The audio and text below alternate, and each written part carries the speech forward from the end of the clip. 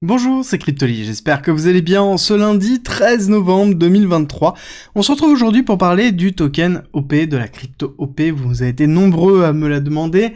Donc c'est la crypto d'optimisme et comme d'habitude on va disséquer en deux parties. Une partie fondamentale, on va revenir sur ce qu'est OP, sur son rôle dans optimisme, ce qui la différencie des autres L2 d'Ethereum, et ensuite on ira dans la partie technique pour se projeter court, moyen, long terme sur des prix d'achat, des prix de vente, et ça commence tout de suite.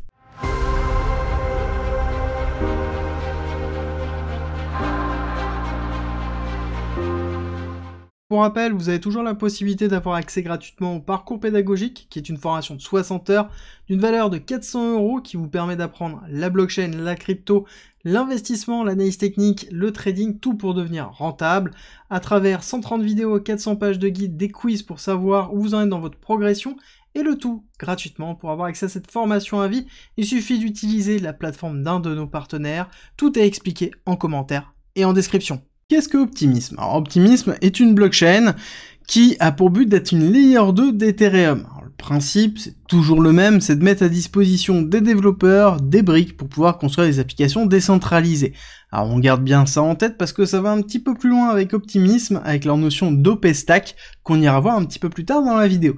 Néanmoins, ce qu'il faut comprendre, c'est que c'est une blockchain qui est construite autour d'Ethereum, même on pourrait le dire au-dessus d'Ethereum, d'où cette notion de layer 2. Le principe étant le suivant, c'est que je fais et je gère toutes les transactions directement sur ma propre blockchain, je les regroupe en un seul gros rouleau que je valide et que je vais déposer chez Ethereum. C'est le principe, c'est vraiment le concept même de tout ce qui est euh, L2, donc layer 2, sous forme de roll-up. Optimisme, c'est ça. Alors pour être un petit peu plus précis, ils vont euh, fonctionner de la façon suivante. Ils vont utiliser la notion d'optimistic rollup. Ça veut dire quoi? Ça veut dire que je vais valider par défaut la transaction et je vais laisser un délai de 7 jours pour que quelqu'un puisse me dire que la transaction est fausse. Clairement, ça veut dire je laisse tout le monde tricher, sauf que la finalité de la transaction, elle est valide uniquement au bout de 7 jours, si personne ne m'a remonté une transaction frauduleuse. Alors, ce système-là a un avantage, c'est que ça permet de concevoir très rapidement en fait une layer 2, c'est pour ça qu'on a Optimism qui est sorti euh, récemment mais assez rapidement par rapport à d'autres technologies de roll-up, layer 2 qui pourrait être notamment tout ce qui est basé sur les ZK proof, donc le zero knowledge proof. Donc forcément Optimism est sorti avant et ça fonctionne plutôt bien dans le sens où on a quand même une transaction qui est rapide, qui est stable et surtout qui permet de scaler Ethereum. Pour rappel, Ethereum, on a des frais de transaction qui sont relativement élevés et toutes les layers 2 qui sont construites dessus permettent de diminuer grandement les frais de transaction. Et ça, ça va être accru très fortement avec la prochaine mise à jour d'Ethereum qui va permettre d'avoir du scaling pour les layers 2 et donc de diminuer au moins par 10 si ce n'est pas plus les frais pour faire des transactions sur les layers 2 d'Ethereum pour offrir une véritable scalabilité. À côté, Optimism a un avantage, c'est que elle est quand même relativement développée en termes d'écosystème. On a déjà quasiment plus de 2 milliards qui sont on-chain. On a à côté 141 millions de transactions qui ont été effectuées. On a des gros protocoles comme SNX qui se trouvent dessus. On a déjà tous les gros qui sont venus s'installer, donc classique, AAV, etc., etc. Et surtout, ils ont mis en place, depuis le mainnet d'OP, la OP Stack et la Superchain. C'est quoi? C'est globalement des bouts de code qui ont été mis à disposition des développeurs pour pouvoir construire eux-mêmes leur propre blockchain autour de ce qu'ils ont effectué sur OP, dans lequel Optimism aura son rôle réel de super chaîne pour pouvoir justement maintenir cet écosystème.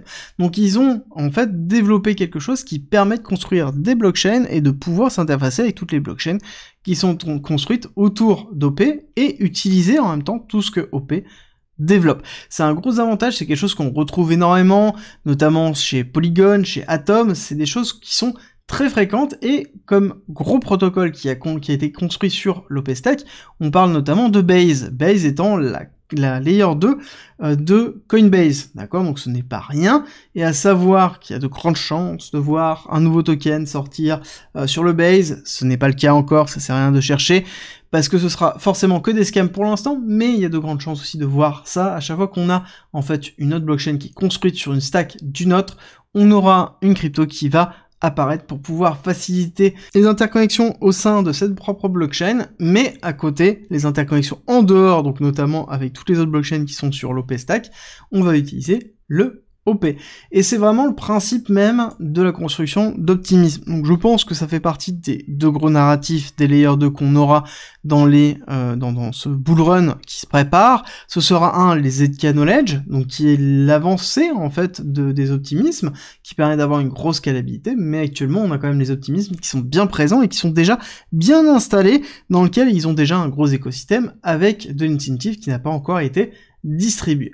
À côté, petit rappel que on est sur Optimism avec assez peu de circulating supply, donc ça veut dire qu'il y a assez peu de tokens qui sont libérés, on n'a que 20% libérés, donc c'est-à-dire qu'il y a 80% qui doivent être libérés, la prochaine libération, bon, ben, on voit que c'est la grosse libération, c'est dans 49 jours, mais à côté, on a 33, 330 000 pardon, euh, OP qui sont libérés tous les jours actuellement, d'accord? Donc on a forcément une grosse dilution qui a lieu avec l'OP, mais ce qui est plutôt classique.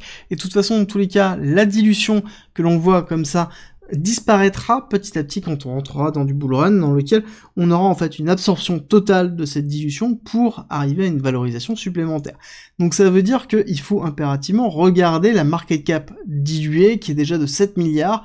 Donc on est sur quelque chose qui est euh, valorisé dans les alentours de 1,3-1,4 milliards de dollars, mais en dilué, donc ça veut dire lorsque la totalité des OP seront libérées, la représentation du prix du token par rapport au nombre de tokens, on est à 7,5 milliards, ce qui est quand même relativement conséquent en bear market, donc ce qui la positionne déjà très rapidement dans les top crypto, donc il va falloir surveiller, mais en même temps, forcément, on aura une propension à l'évolution et à l'accélération haussière qui sera bien moindre que d'autres projets qui sont sous-évalués actuellement, dont je parle assez régulièrement sur la chaîne. Dans la présentation du projet, on va attaquer la partie technique qui va être assez sommaire et assez rapide parce qu'on a un cours qui est relativement intéressant, bien que court.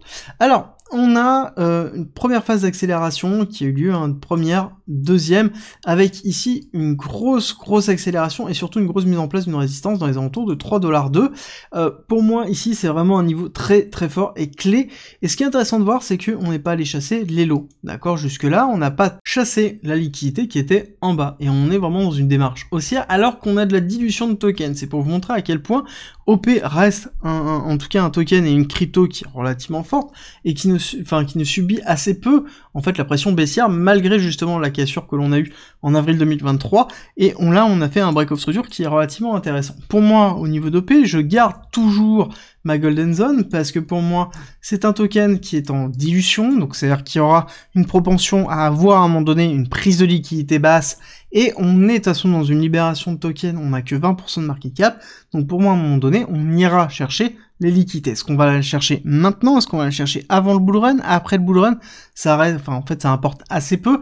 C'est un token dans lequel je suis déjà exposé sur des prix d'achat qui sont relativement faibles. J'avais payé ici et j'ai repayé ici. J'aurais bien voulu recharger plus bas. Si on y retourne, ce sera très bien. Si on n'y retourne pas, c'est pas grave. Je suis déjà exposé.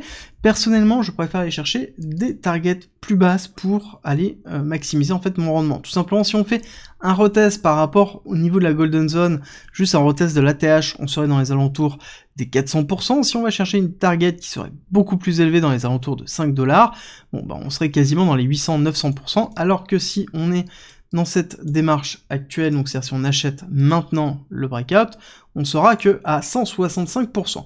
Est-ce que ici sur un token qui a 20% de dilution, j'ai une volonté à aller acheter? Est-ce qu'on peut faire des performances? Bien évidemment, on peut faire des performances. Est-ce que c'est le genre de performance que je vais chercher? Non, je vais aller chercher des performances qui sont plutôt intéressantes, c'est-à-dire dans lesquelles je vais avoir des prix d'achat très intéressants. Dommage qu'on ne soit pas allé ici en juin 2023 euh, chercher cette golden zone. Je pense qu'il y a des possibilités d'aller rechercher si jamais on a une forme de temporisation au niveau des cryptos avant euh, la mise en place du halving et après, légèrement après la mise en place du halving, on pourrait avoir une temporisation pour aller recharger. Mais dans tous les cas, on est dans une démarche qui est haussière. Et si le bull run commence maintenant, je peux vous assurer que OP fera partie des grands gagnants. Après, où est-ce qu'on va aller chercher? Quel va être notre target? Bon, bah c'est assez simple. Il suffit de regarder la market cap diluée, de se fixer l'équivalent d'un Solana en plein bull run le dernier cycle. Bon, bah on est dans les alentours de 60-70 milliards de market cap, donc on pourrait très bien aller chercher un token ici OP dans les alentours de 6, 7, 8, 9 dollars assez facilement avec une accélération haussière. Bien évidemment, pour ça, il faut que les optimistiques rollup ne se fassent pas écraser par les ZK rollup dans le prochain narratif, ça c'est évident, et il faut que toujours OP continue à performer, continue à développer son OP stack, etc., etc. Vous connaissez toutes les vérifications à effectuer à ce moment-là. J'espère que cette vidéo vous a plu. Si c'est le cas, n'oubliez pas de me laisser un like et un commentaire, ça me fait toujours très plaisir et surtout ça soutient la chaîne. Et on se retrouve demain 7h pour la quotidienne.